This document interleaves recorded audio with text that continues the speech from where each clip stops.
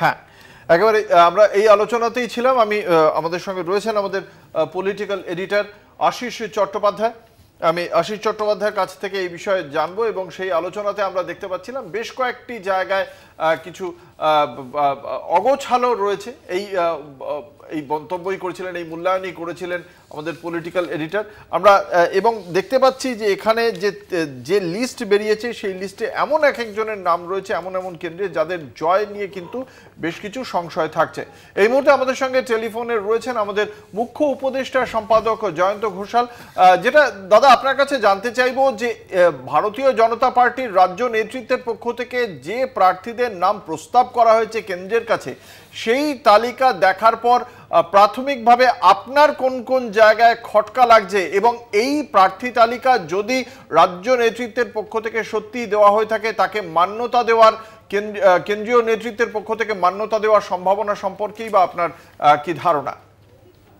আমার প্রাথমিক যে ধারণাটা হচ্ছে, সেটা হচ্ছে যে কলকাতা টিভির সাংবাদিক যে যিনি বা যারা এটা বের করতে পেরেছেন সাংবাদিক হিসেবে, সেটা নিশ্চয়ই একটা কৃতিত্ব যে এটা প্রথম তালিকা যেটা অমিত শাহ এবং জেপি নাড্ডা এসছেন এবং সেখানে সেই তালিকাটা তারা যেটা পেশ করছে। কেননা এটা তো একটা প্রক্রিয়া এবং এই প্রক্রিয়াটা শুরু করে দিয়েছে বিজেপি, এটা তো বোঝা যাচ্ছে এবং অমিত শাহ যেভাবে তাড়াহুড়ো করে এলেন, তাতে একটা জিনিস বোঝা গেল এবং তার বক্তৃতা থেকেও বোঝা গেল যে তারা পশ্চিমবঙ্গকে অগ্রাধিকার এটা তো অমিত শাহ নিজে অন রেকর্ড বক্তৃতাতেও বললেন।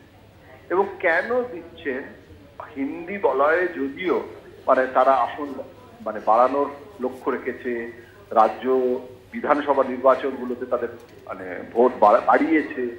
এতৎ সত্ত্বেও একটা শঙ্কা আছে যে কোথাও একটা স্যাচুরেশন পয়েন্টে পৌঁছে যাওয়ার পর সেটা কতটা স্ট্রেচ করা যাবে, কেননা সংখ্যা গরিষ্ঠতার জন্য দক্ষিণ ভারত না থাকলে অন্যান্য পূর্ব ভারতে অসম ছাড়া সেখানে পশ্চিমবঙ্গ একটা রাজ্য যেখানে দু হাজার উনিশে যেটা সম্ভাবনা হয়েছিল দু হাজার একুশে যেটা পুরো মানে উল্টে গেছিল, সেটাকে আবার যে কোনো মূল্যে যাতে রিভাইভ করা যায় তাহলে এটা টপ প্রায়োরিটি দেওয়া হয়েছে আমি এই কথাটা কেন প্রার্থী তালিকার সঙ্গে যুক্ত করছি? যে অমিত শাহ একটা কথা অনেকবার বলেন মানে আমি, আমাকেও ব্যক্তিগতভাবে আমি যখন কোনো সাক্ষাৎকার নিতে গেছি বা কথা বলেছি, বারবার উনি বলেছেন, বলেন সেটা হচ্ছে যে আমার কাছে সব থেকে গুরুত্বপূর্ণ হচ্ছে একটা প্রার্থীর উইনেলেবিলিটি অর্থাৎ তিনি জিতবেন কি জিতবেন না। এবং সেইটা পশ্চিমবঙ্গের আসনগুলো, সেটা কিন্তু অমিত শাহ ব্যক্তিগতভাবে তো জানেন না। এমন তো নয়, মমতা বন্দ্যোপাধ্যায় যেরকম পশ্চিমবঙ্গের বিয়াল্লিশটা আসন হাতের তালুর মতো চেনেন, সেটা তো অমিত শাহর পক্ষে সম্ভব নয়। কিন্তু অমিত শাহর যেটা একটা অদ্ভুত মেকানিজম আছে, সেটা হচ্ছে রাজ্যের নেতৃত্ব দিল আর সেটা সঙ্গে সঙ্গে কায়মনোবাদকে মেনে নেওয়া হলো, এমনটা কিন্তু অমিত শাহ সে ধাঁচের লোক নন। তাহলে তো মোদী এবং অমিত শাহ মানে মুখ্যমন্ত্রী নির্বাচন থেকে শুরু করে ওখানে যেভাবে প্রার্থী মনোনয়ন পর্যন্ত বিধানসভার ক্ষেত্রে হয়েছিল রাজ্য যেটা বলেছে, শিবরাজ যেটা বলেছে, সবই উল্টে গেছে। এখন এক্ষেত্রে দিলীপ বাবুকে ডায়মন্ড হারবারে অভিষেক বন্দ্যোপাধ্যায়ের বিরুদ্ধে লড়ানোর প্রস্তাব, এটা রাজ্য বিজেপি নেতৃত্ব দিচ্ছে আরএসএস এর সেখানে কি ভূমিকা থাকবে? কেননা দিলীপ বাবুর কিন্তু এবারে অনেক কথা কাটাকাটি হয়েছে অনেক গোলমাল হয়েছে বৈঠকের মধ্যে যেটুকু যা খবর পাওয়া গেছে। কিন্তু দিলীপ বাবু কিন্তু অপ্রাসঙ্গিক হয়ে যান।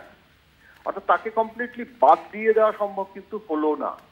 এবং একটা জিনিস। বোঝা যাচ্ছে যে ভোটের আগে যে স্ট্র্যাটেজিটা রাজস্থান বা সব জায়গায় ওরা বিজেপি করেছে যে যারা যারা ডিসিডেন্ট যাতে তাকেও যাতে প্রোঅ্যাক্টিভেট করে মাঠে নামানো যায়। তাহলে সেখানে দিলীপ বাবুকে ডায়মন্ড হারবারে অভিষেক বন্দ্যোপাধ্যায়ের বিরুদ্ধে লড়িয়ে নজর কাড়ানো একটা কেন্দ্র তৈরি করা এটা কতটা বাস্তবায়িত হবে সেটা নিয়ে আমার একটা প্রাথমিকভাবে এটা নিয়ে আমার একটা প্রশ্ন থেকে যাচ্ছে। আর আরেকটা কথা শুধু বলব সেটা হচ্ছে যে বিজেপির প্রার্থী তালিকায় খুব কম নাম মানে মিঠু চক্রবর্তী অথবা এরকম একটা দুটো নাম বাদ দিলে বেশিরভাগ নামই কিন্তু তৃণমূলের যেরকম পরিচিত ব্যক্তিত্ব এবং একটা দাপুটে ব্যক্তিত্ব, সেখানে কিন্তু এখনও লং ওয়ে টু গো বিজেপিকে কিন্তু এখনও তার বিকল্প হতে গেলে। এমনকি এলাকাতেও যে খুব জনপ্রিয়, স্থানীয়, এমন ব্যক্তিত্বও কিন্তু ঘটনাচক্রে অনেক কম।